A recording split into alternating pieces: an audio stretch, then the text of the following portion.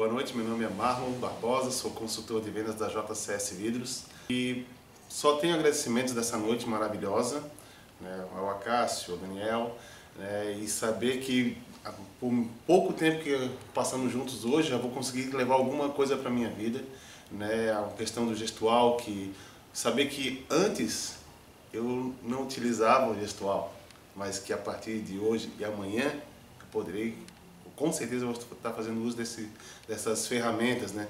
A questão de poder se apresentar normalmente, uma coisa mais limpa, mais clara, não aquela coisa assim robótica. Isso são coisas assim que a gente ao longo dos dias vai injetando na nossa vida. Só agradecimentos, né? Quem tiver a oportunidade de conhecer essa dupla maravilhosa, tem meu aval. Prazer.